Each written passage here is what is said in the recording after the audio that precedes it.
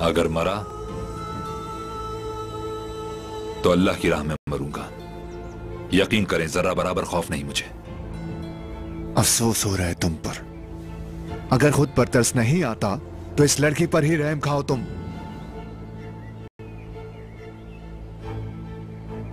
तुम्हारी खातिर किस हाल में है, देखो। एक अयूबी मलिका हो सकती थी, मगर अब मेरे ज़िंदा में हमेशा के लिए सड़ेगी। तुम कितने घटिया इंसान हो ना? हाँ?